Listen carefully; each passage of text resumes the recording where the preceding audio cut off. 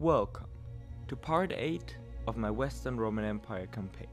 The Western Roman Empire has recovered from its crisis and is strong enough to challenge the East. Now it's war. The war went well for the Western Roman Empire and battle after battle has won. However, through a crucial mistake, Honorius suffered severe wounds in one of the battles and later died from his injuries. His son, who succeeded him, was murdered after a short time, and now the fate of the empire depends on the four-year-old Theodorus II, who has now the task to end the war victoriously. And so welcome to Crusader Kings 3, The Fallen Eagle. This is one of the worst things that could happen. Four years, oh my The death of Diodorus was one of the worst things that could happen to me, because now I not only had to win the war, but also make sure that my vassals liked me.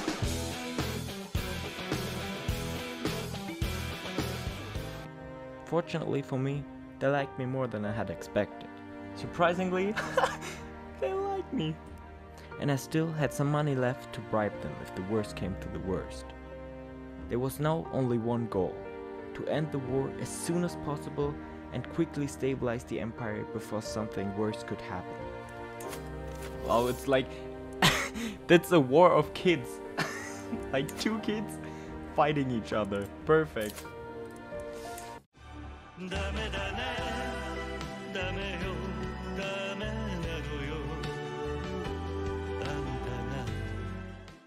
But now, back to the serious matches. Another factor that put me under time pressure is diplomatic policies, because if I'm too unpopular, the bar could go down again, which I wanted to avoid at all costs. So I kept the war going. But after a short time, the first disrupting news came. Factions had quickly formed against the young emperor, and if I could not end the war with the east quickly enough, it could be my undoing. And so I now concentrated on winning the war. The war was still clearly dominated by me, but my enemy was no longer the east, but rather the time it would take to defeat it. And so my armies besieged one settlement after the other to finally decide the war. Come on. 99? Are you kidding me?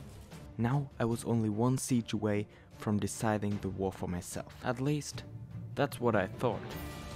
But things were about to get so much more complicated. Hello there. Who is this guy? Oh my god. 12,000? And so I no longer had only one war to win. But since I'd almost defeated the East, I was sure that the next war would also be manageable, especially since I would get many new soldiers through the conquest of the East.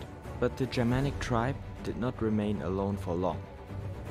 22,000?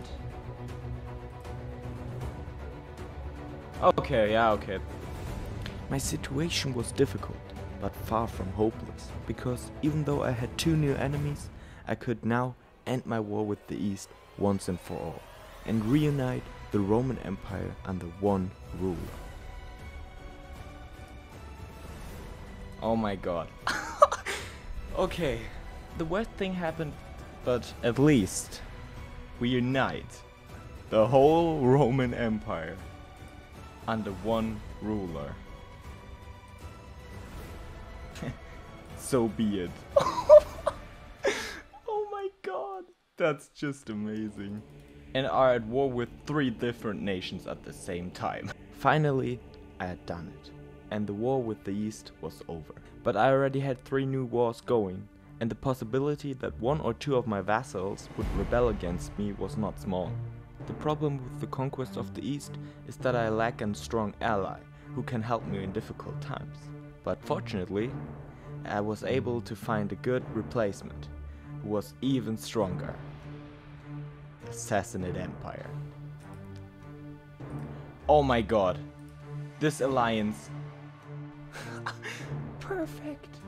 Very good. An alliance with the Sassanids. This alliance was extremely important. For one thing, I didn't have to worry about the Sassanids attacking me, and for another, I had the strongest empire in the world on my side. With the help of the Sassanids, I should be able to fight back the invaders.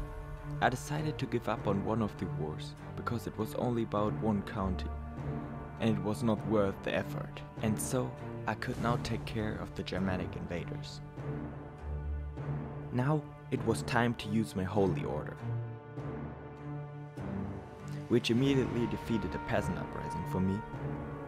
But while I was sending my armies towards the Germanic tribes, I was attacked by my vassals, who demanded their independence. If I lose this war against my vassals, I would lose large parts of my empire. Damn it.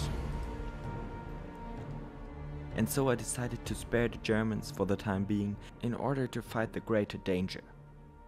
But how this war will end and whether I will still defeat the Germanic tribes will be told another time.